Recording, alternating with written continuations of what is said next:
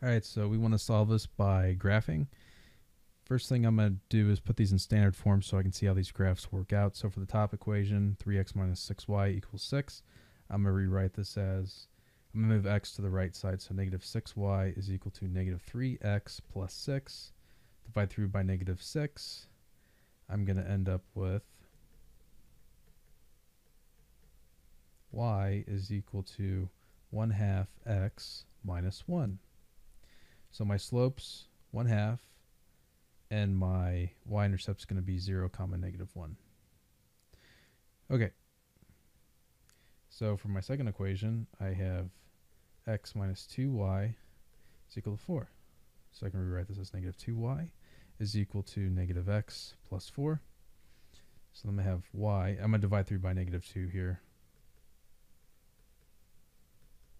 So get y is equal to 1 half x minus 2. So they both have the same slope. The only difference is their y-intercepts are different, so they're parallel lines, so there's no solution in this case. These are just parallel lines. They never intersect. All right, that's how you solve that. I hope that helped you out. Thanks for watching. Have a great day.